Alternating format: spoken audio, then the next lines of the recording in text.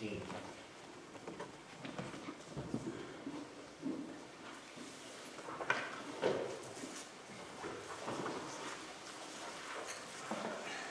Lord's Day 18. How dost thou understand these words? He ascended into heaven. That Christ, in sight of his disciples, was taken up from earth into heaven, and that he continues there for our interest until he comes again to judge the quick and the dead. Is not Christ then with us even to the end of the world, as he hath promised? Christ is very man and very God. With respect to his human nature, he is no more on earth. But with respect to his Godhead, majesty, grace, and spirit, he is at no time absent from us. But if his human nature is not present wherever his Godhead is, are not then these two natures in Christ separated from one another? Not at all. For since the Godhead is illimitable and omnipresent, it must necessarily follow that the same is beyond the limits of the human nature he assumed, and yet is nevertheless in this human nature and remains personally united to it. Of what advantage to us is Christ's ascension into heaven? First, that he is our advocate in the presence of his Father in heaven. Secondly, that we have our flesh in heaven as a sure pledge that he, as the head, will also take up to himself us, his members. Thirdly, that he sends us his Spirit as an earnest, by whose power we seek the things which are above, where Christ sitteth on the right hand of God, and not things on earth.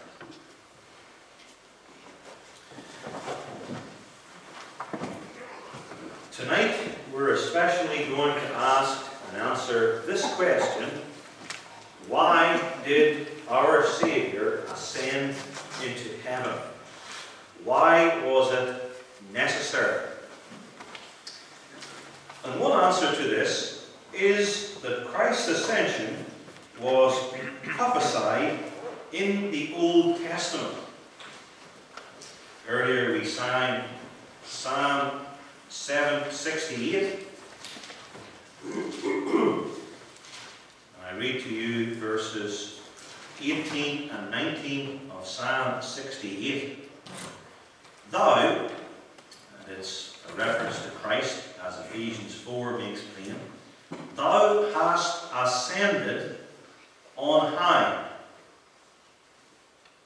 as high as heaven. Thou hast led captivity captive, that is, Christ has won a great victory and taken captive the devil and his demons. Thou hast received gifts for men, the gifts and graces of the Holy Spirit. Yea, for the rebellious also, referring to the natural depravity of the elect. That, with this goal, this ascension, this defeat of Satan, these gifts for us, with this goal, that through it all the Lord God might dwell among them as our covenant friend.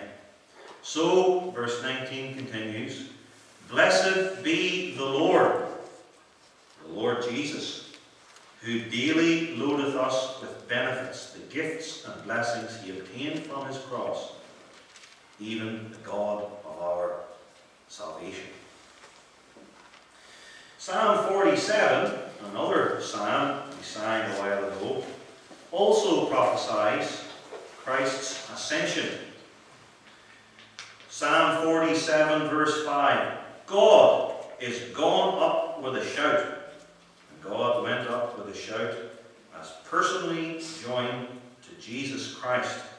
God is gone up, God ascended with a shout, the shout of victory and triumph. The Lord with the sound of a trumpet. And then the call to worship, to worship God because of the ascension of Jesus. Sing praises to God. Sing praises. Sing praises unto our King. Sing praises. Four times we're commanded to sing praises because of the ascension of Jesus Christ. For God is the King of all the earth. That's especially evident with the ascension of Christ to God's right hand in heaven. Sing ye praises with understanding. Think about these things. Grasp this as you worship. God reigneth over the heathen, because Christ ascended up into heaven. God is the King of all the earth. God sitteth upon the throne of his holiness. Christ's ascension was necessary because it was prophesied in the Old Testament. And there are other passages I could refer to, such as Psalm 110, verse 1. The Lord Jehovah said to my Lord, Christ, Sit thou at my right hand until I make thine enemies thy footstool. The ascension of Christ is not directly spoken of here, but how did Christ come to be in heaven, seated at God's right hand? Well, after his earthly ministry, he ascended up into glory. And there are many such passages that we could refer to in this connection. So since the Old Testament prophesied it, Christ must ascend into heaven. We can also refer to the New Testament, to the words of Jesus Christ himself, because he predicted his ascension during his earthly ministry. He did this especially according to his sayings in the Gospel according to John. And in the passages from John 14 and John 16, which we read earlier. So since we could argue Jesus Christ predicted that he would ascend, it must necessarily happen. The necessity of Christ's ascension, though, goes further back. It happened not merely because the Old Testament prophesied it and Jesus Christ predicted it, but also because the triune God had already decreed it. It was determined in Jehovah's counsel before the world was, and that was why the prophets and the Psalms and the Lord Jesus himself could predict it because they knew that God had eternally purposed it. It must therefore take place because God worketh all things, including obviously Christ's ascension, after the counsel of his own will, as Ephesians 1 verse 11 says. At this point, someone could say, well, everything that is decreed by God must necessarily happen. The answer to that, of course, is yes, that's true. And so we've got to sharpen our question. Why was it necessary for our salvation that Jesus ascend into heaven? Why was his ascension not a hindrance to our salvation? Why was it to our blessed advantage? This is always an issue in the church, right from the very beginning. The disciples in John 14 through 16 struggled with this very issue. They thought, why is Jesus talking about going away? Surely it would be better if he were to stay with us. How could it possibly help if he leaves us right now? And believers today are tempted to think the same way. And maybe you have even wondered, why did Jesus have Surely it would have been better if he'd stayed on earth. Maybe some of you even wonder this right now. Our catechism also addresses this issue in Lord's Day 18, which we read earlier. Question 49 is, of what advantage to us is Christ's ascension into heaven? Why did he have to go to heaven? How did this help us? How does this help us? And as we consider this together, we should also ask this question How does this help us to prepare for the Lord's Supper next Sunday morning? Let's consider then the necessity of Christ's ascension. The necessity of Christ's ascension, making two main points. First, his earthly work was finished. Therefore, he must needs ascend. And second, his heavenly work had to begin, and therefore he needed to ascend.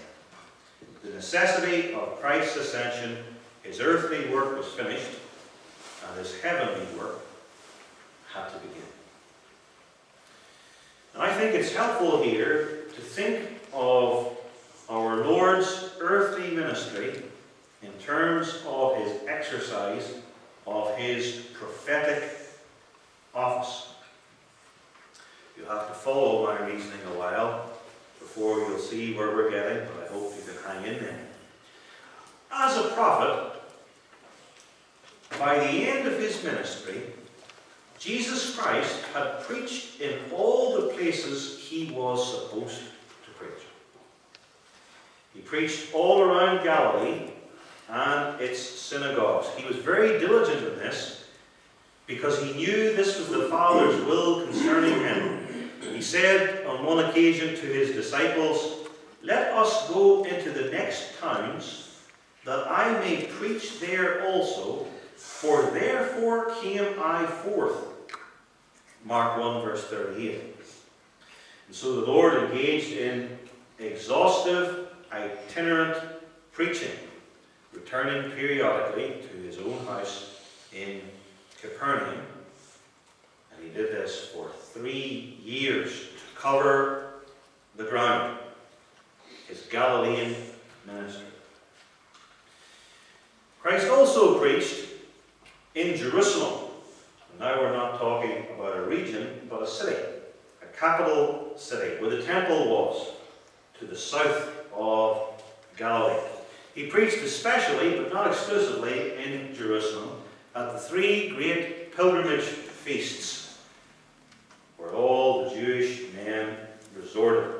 And so he didn't need to go into the outlying towns of Judea because if you preach in Jerusalem, where the men folk are at those three great feasts, you're reaching them. Then they go back to their own villages. And so we read very little of Christ's work in Judea outside of Jerusalem. But someone might ask, couldn't Jesus have preached elsewhere if he had lived longer and stayed on earth longer?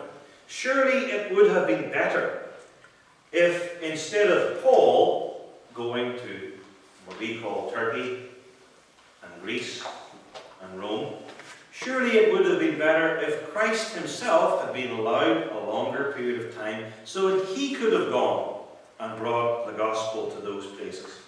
Given a few years, perhaps he could have gone way to the east to India or to the south into Africa. now we need to see Christ's role in the history of redemption. What did he say? I am not sent, but unto the lost sheep of the house of Israel. Matthew 15, verse 24. You may be thinking of one or some of the few exceptions to this, but these exceptions only prove the rule. There was the Syro-Phoenician woman Syro from Syria and Phoenicia from that coastal strip in the north of Palestine. The Syro-Phoenician woman whom Christ met in the region of Tyre and Sidon to the north of Galilee. You remember that her daughter was grievously afflicted because she was possessed by a demon. Christ healed this woman's daughter as a sign of the future spread of the gospel to the Gentiles.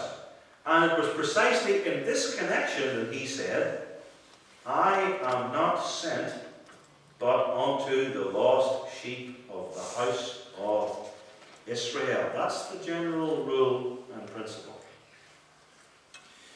You may also recall the Lord's foray into Gentile territory and into Caesarea Philippi. It was there, of course, that Peter made his famous confession Thou art the Christ, the Son of the living God. Whereupon Jesus proclaimed, Upon this rock I will build my church, and the gates of hell shall not prevail against it. The idea is here that Jesus deliberately left Galilee and went on Gentile soil and asked, Who do men say that I am? to bring forth Peter's confession, talk about his sovereign work of building the church.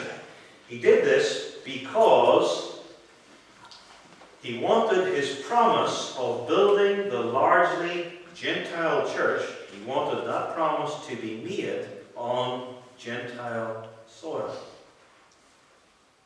And you may remember a third instance, the woman at the well in Samaria. How come Jesus was there? Well, he was going between the two great preaching fields, Jerusalem in the south and Galilee in the north. It is converting this woman, who then witnessed to the menfolk of that time and others, was a preparation for the gospel's later work, because Jesus told them that they would go out preaching the gospel in Jerusalem, the capital city, to Judea, to the region in which that capital city was placed, to Samaria, and so to the uttermost parts of the earth. And if you recall Christ's few years in Egypt, and think, well, surely that's a contradiction. It isn't. Because when Christ was in Egypt, he was a child, a little boy. He didn't preach in Egypt. He was only there in order to avoid the murderous hands of Herod the Great, because his parents were warned by God through an angel flee. And so that God in turn could call his son out of Egypt.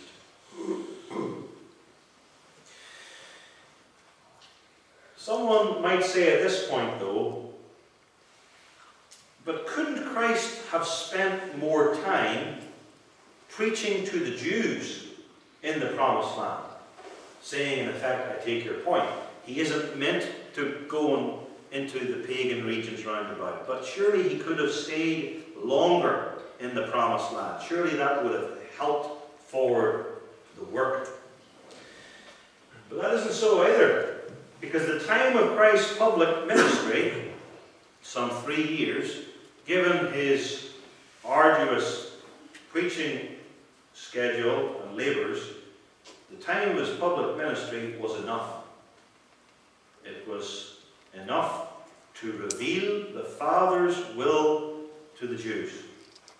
It was enough not merely to reveal the Father's will, but to reveal the Father to the Jews. Because Jesus said, and we read it, He who has seen me has seen the Father. Because he is the Son who came to exegete, interpret, represent, and portray God. So we have Christ's own words in his high priestly prayer in John 17. The hour is come. John 17, verse 6. I have manifested thy name unto the men which thou gavest me out of the world. Thine they were, and thou gavest them me, and they have kept thy word. Now they have known that all things whatsoever thou hast given me are of thee. For I have given unto them the words which thou gavest me, and they have received them, and have known surely that I came out from thee, and they have believed that thou didst send me.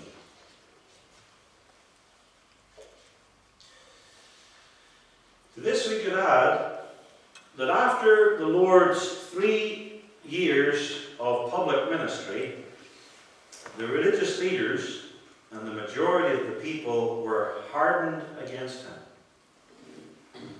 In fact, you may recall instances in our Lord's earlier ministry where he had to be discreet, or the people would have killed him early, so to speak.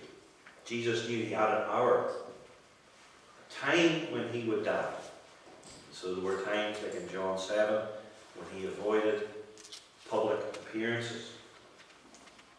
Then there were other times when they sought to seize him and kill him, and God wrought a miracle so that Jesus could walk right through a hostile crowd, right through their midst, and they couldn't touch him. His hour was not yet come. God's will was for Christ to work among the Jews in his preaching and teach them the will of the Father, whom he was to reveal to them, and then it's finished. And having gone to all the places to which he was sent, and spent sufficient time teaching them, his earthly prophetic ministry was finished. There was no more for him to do. Nowhere he needed to go. Nothing else he needed to say. And therefore it was time for him to ascend into heaven. We can also think of our Lord's earthly public ministry in terms of his kingly office. We can be quicker here because I think you're getting the idea. It is especially as a king, though also as a prophet, but we're emphasizing the kingly aspect. It's especially as a king that he proclaimed the kingdom of God. And the Jewish nation was given enough time to reject it, as most of the Jewish people did. Christ proclaimed, too, that many Gentiles would come from the north and the south and the east and the west to sit down with Abraham, Isaac, and Jacob in the kingdom of heaven. The king, too, trained his ambassadors, the apostles. He wanted 12 to be with him. He took these 12 with him on his preaching tours to equip them for their future ministry. He even gave them personal, practical experience of preaching when he sent them out two by two to preach the kingdom and to work miracles as signs that the kingdom of heaven was nigh. It was also as king that Jesus Christ gave the model prayer. How does it begin? Our Father, which art in heaven, hallowed be thy name, thy kingdom come. How does it end? For thine is the kingdom, and the power, and the glory. Amen. This is Jesus in his public ministry on earth as king. He spoke about and he committed to the church the keys of this kingdom the preaching of the gospel, Matthew 16, and church discipline, Matthew 18. Christ gave to the church also the two Christian sacraments during his earthly ministry baptism. Jesus, with the twelve, baptized. We read of it in John 3 and John 4. We occasion to remark upon this in the series on John the Baptist. And at his great commission, he told them to go out into all the world and preach the gospel and to baptize in the name of the Father and of the Son and of the Holy Spirit. And the other sacrament, the Lord's Supper, the one we're especially interested in tonight and next Sunday, the Lord's Supper was instituted on the very night on which he was betrayed. Continuing this idea of the Lord's kingly office, you will remember that it was as a king, Israel's true king, that Jesus Christ was crucified with this superscription on his cross in Hebrew, Latin, and Greek. This is Jesus of Nazareth, the King of the Jews. And so, just as the earthly phase of Christ's prophetic work was finished, nowhere more to go, nothing more to say in that phase of his ministry, so the earthly phase of his kingly office was finished. His work as king would continue, but the earthly phase of it, it was done. And so it was time for him, he needs must, ascend into heaven to continue the work, to bring it to a higher stage and level. And we can be even briefer now as we turn to Christ's priestly work during his public ministry on earth. And here we home in straight away on the cross when he offered himself up as a sacrifice to God instead of us and for our sins. You'll remember the key word on the cross in this connection. It is finished. Quoted in our Lord's Supper form too. It is finished. The atonement is finished. My mortal life work on earth is finished. To quote the Lord's high priestly prayer again, this time John 17, verse 4, Christ said, near the start, I have glorified thee on the earth. How is that? I have finished the work which thou gavest me to do. It's finished.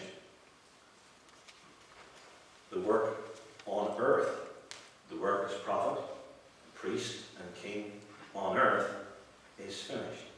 And so he must ascend into heaven to continue his prophetic, priestly, and kingly work there. That's the necessity of Christ's ascension.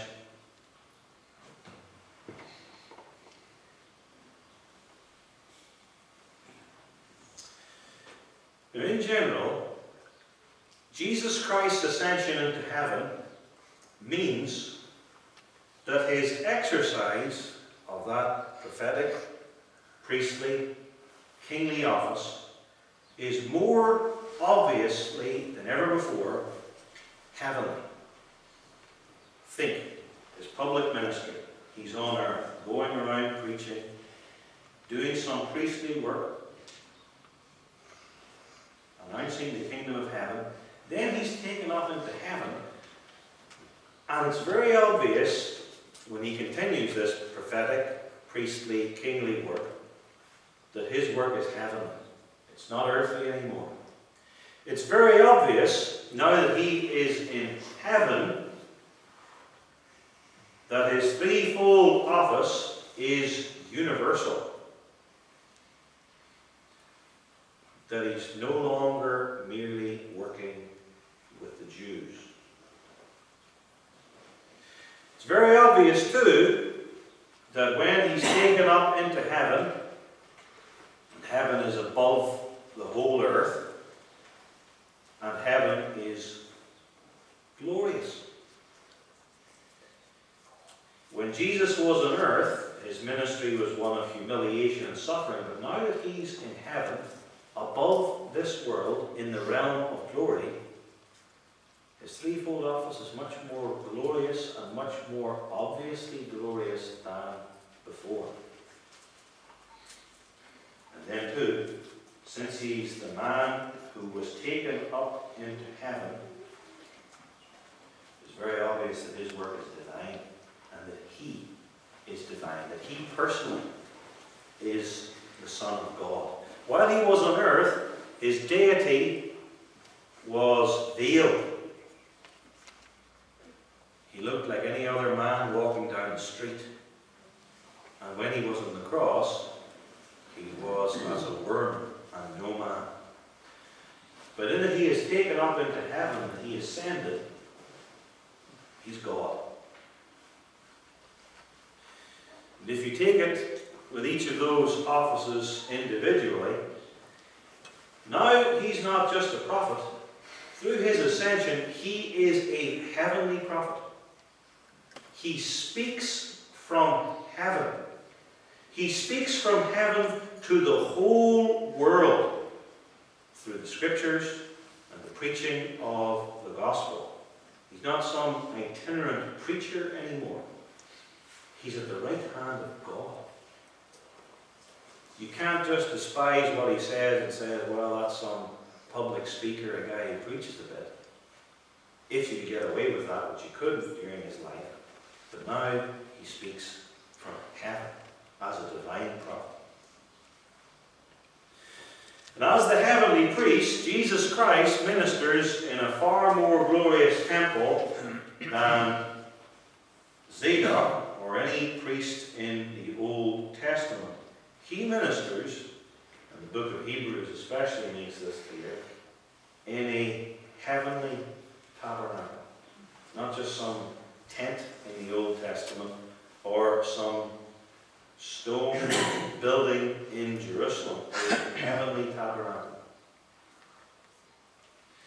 And therefore, as a priest too, he intercedes at God's right hand,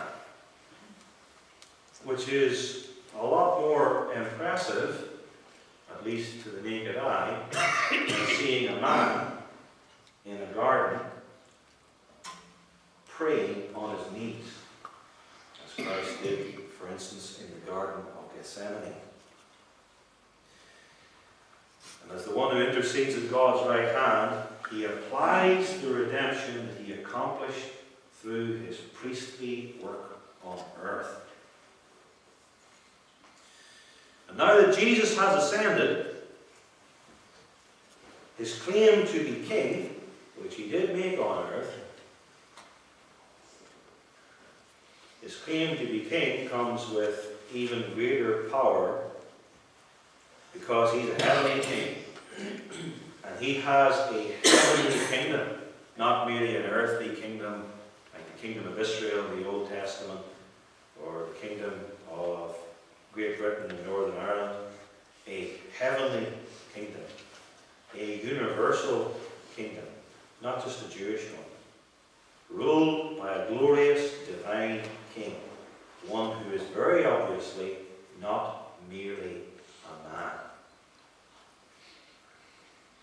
And it's only Christ's ascension into heaven that can bring all of this about. And it can make all of this an awful lot clearer than it ever was when Christ was on earth. A lot clearer than the disciples who were with Jesus for three years ever could have realized. When they saw that man, Jesus, go up in front of their very eyes on the Mount of Olives, and then when the Spirit was poured out, a few weeks later, they began to see. A few days later, they began to see what this Jesus was all about, who he was. The question and answer 49, at the very end of Lord's Day 18 very closely links Christ's ascension with heaven, the place to which he ascended. Question 49 asks, Of what advantage to us is Christ's ascension into heaven? And then three advantages are given. First, that he is our advocate in the presence of his Father in heaven. Secondly, that we have our flesh in heaven as a sure pledge that he is the head, will also take up to himself us, his members. Thirdly, that he sends his Spirit as an earnest, by whose power we seek the things which are above, where Christ sitteth on the right hand of God, not on things on earth. The only part where heaven is not mentioned is the thirdly, but it talks about above, at the right hand of God, and not on earth. So the question is, of what advantage to us is Christ's ascension into heaven? And the first advantage spelled out in our catechism is the advantage of Christ's ascension into heaven for us with regard to our sins. First, that he is our advocate in the presence of his Father in heaven. You know that the Lord's prayers were always answered. All of the prayers he made on earth. I know that thou hearest me always, he said in John 11. But it's even more obviously the case, and it's even easier for us to understand, that now that he is in the presence of God in heaven, every prayer will be answered. And it's easier to see too because Jesus is interceding at the right hand of God on the basis of the sacrifice he offered for our sins while he was on earth. Of what advantage is the ascension of Christ into heaven? He's our advocate. We need an advocate because of our sins. He's our advocate in the presence of his Father in heaven. Here is comfort for the Christian because of Christ's ascension. Secondly, the advantage of Christ's ascension into heaven concerns our next life. Secondly, that we have our flesh in heaven as a sure pledge that he, as the head, will also take up to himself us, his members. And since Jesus, body and soul, glorified in both body and soul, is in heaven, he is there in a human body, human soul glorified, then we at death will go to be with Christ. We in our souls. Hard to believe that. It's easier to believe it with Jesus, a glorified man, already in heaven with regards to his soul. That helps us. And that the second coming of Jesus Christ, which will lead to the resurrection of the dead, we as to our bodies will be raised from the grave to meet him in the air, as Thessalonians especially explains. And this is our hope. Hope after death, and hope with regard to our bodies at the return of Christ.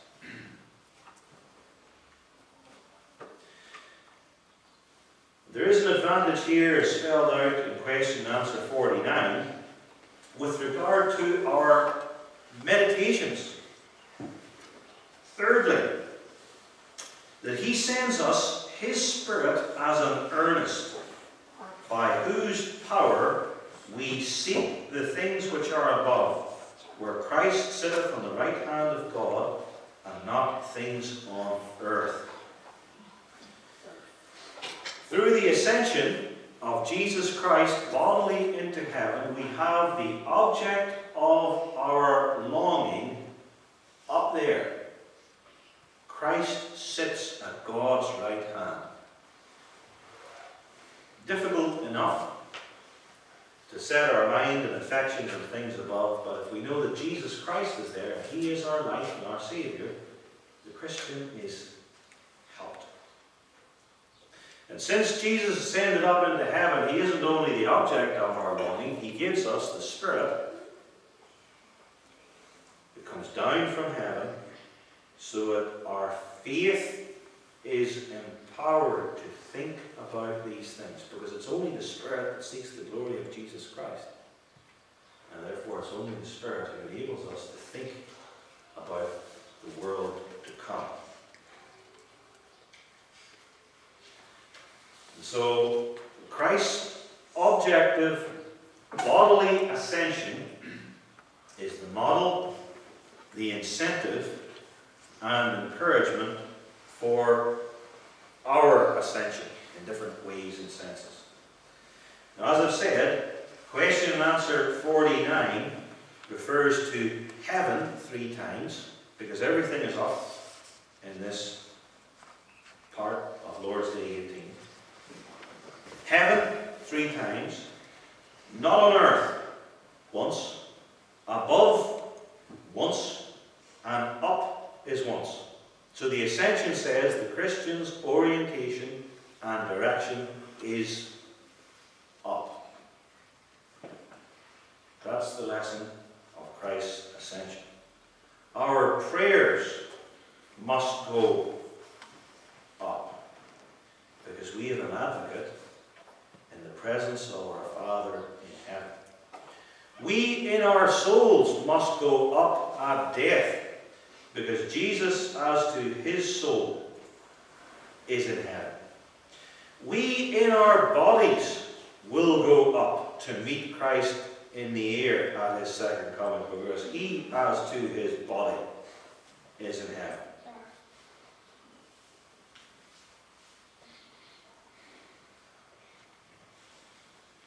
And even our affections must go up.